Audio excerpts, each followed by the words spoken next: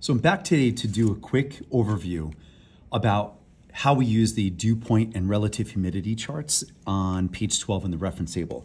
I've gotten a couple requests from people just kind of give a, an actual tutorial how to use these two charts. They're super easy to use, but a lot of kids tend to run into some trouble with some of the math.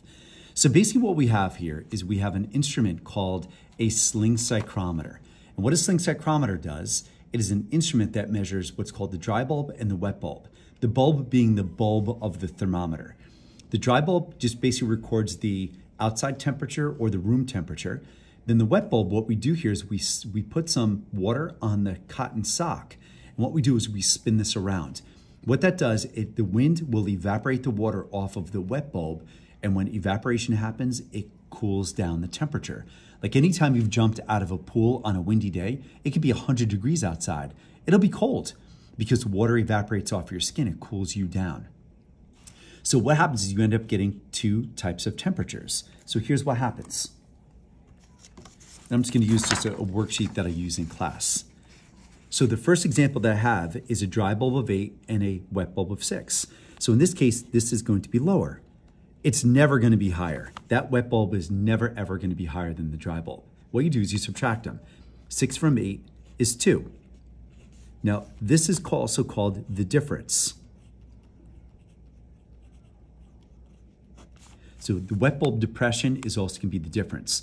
What I tell my students to do, I tell them to cross out the wet bulb once you get the subtraction, because a lot of kids use this on the graphic. You don't need this on these charts. You only need the dry bulb and the difference. So watch how we do this. Eight dry bulb, two difference. Dry bulb is the left side, so you find 8 up here. Difference between dry bulb and wet bulb, 2. You bring 8 over, you bring 2 down. Now my suggestion is, is that you spend the time using the top scale instead of counting. Because a lot of times what I'll see students do is that they'll say, oh, difference of 2. 1, 2. Nope. If you only count two columns over, you're only at a difference of 1. You have to account that there could be a 0 difference. So 8, 0, 1, 2, difference of 2. So that 8 is going to give you a dew point of 3 degrees Celsius. You do the same thing for the humidity. So you find the difference of 2, dry bulb of 8. 8 on the dry bulb column, 2 along the difference. And again, you take this over, you bring the 2 down, 74% humidity. That's a pretty standard, straightforward problem that you'd have. I like the next one here because it gives you a difference of zero. So what you have to think about, so we got to find the wet bulb. What number do you subtract from the dry bulb? Because remember, the wet bulb is going to be lower. What number do you subtract from the dry bulb to get zero? Well, in this case, it's the same amount, 20 degrees Celsius. 20 minus 20 is zero. So again, I cross out the wet bulb just so we don't use it. There's your dry bulb. There's your difference. So we're going to go to the humidity and the dew point chart. So you have a dry bulb of 20, difference of zero, bring that over. Look at that, it's the same temperature. It's the same one. So that's your 20 degree dew point. The humidity, you do the same exact thing. Find the dry bulb of 20, you find the difference of zero, to 100% humidity. 100% humidity means you have a lot of precipitation.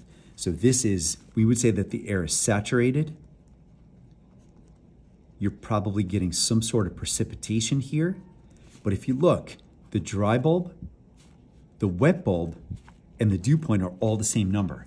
And when they're all the same number, your air is as saturated as it can possibly be. You got some precipitation on that day. What happens if we have an odd dry bulb? Because if you look at all your dry bulbs here, all your dry bulbs are evens. Well, what if we have an odd? Well, if you have 27 dry bulb and a difference of 5, what number do you subtract from 27 to get 5? That's 22. Remember that the wet bulb is going to be less than or equal to the dry bulb. It's never going to be higher. Cross that out because I don't need it. 27 and 5. So here's what you do go to your dew point. 27 is going to fall between 26 and 28. So you find 27, you find the difference of 5, you bring that down, you bring that across. You're between 18 and 21. So you give me an answer between 18 and 21. So that's going to be, your dew point's going to be somewhere between 19 degrees Celsius to 20 degrees Celsius. Do the same thing for the humidity. 27, so you find 27 is between 26 and 28, bring it over to a difference of 5. That's between 64 and 65% humidity, so 64.5, 64 and a half. Percent. Okay? Well, what if we're given an example where the dry bulb is given to us and only the dew point? We got to find everything out. So if they give you a variable that's given to you off the reference table page, go to that chart. So dry bulb at 24, let's find where it hits an 18 degree dew point. So 24 dry bulb, bring that over, not a difference. I want the actual dew point of 18 right there. Bring that up, that's a difference of four.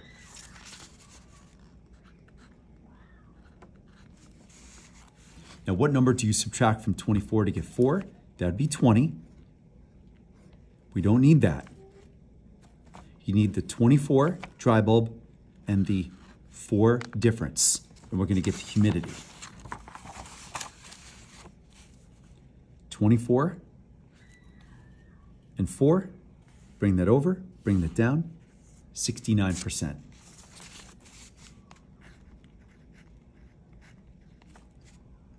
me do that one more time, but I'm gonna do that if they're given, instead of giving the dew point, they're gonna give you the relative humidity. So let's do it this way. So dry bulb of 10, humidity of 13%. So you wanna go to that specific chart. So dry bulb of 10 and a humidity of 13%. So you bring that across, 13% right there. You bring that up, that's a difference of eight. All right, so now what we're gonna do is we're gonna figure out what's our wet bulb. What number do you subtract from 10 to get eight? That's a difference of two Celsius. We don't need that. Wet bulb, once you get the subtraction, you don't need it anymore. You need the dry bulb and the difference. Now we're gonna go to the dew point chart at, with the 10-8 combo. Dry bulb of 10, difference of 8, bring it over, bring it down, negative 14 degrees Celsius. The dew point is also is always a degree Celsius. Your humidity is always a percentage. So hopefully this kind of helps you out in terms of kind of navigating your dew point and relative humidity charts. I know they can be a little bit tricky at times, but if you kind of break it down, uh, these are questions that show up on every Regents exam, so definitely take your time with that. And as always, you guys can always send me a message through my videos if you have any questions about that. And please hit the like button at the bottom, subscribe, and look out for some more videos coming your way. Thanks so much, guys. Talk to you soon.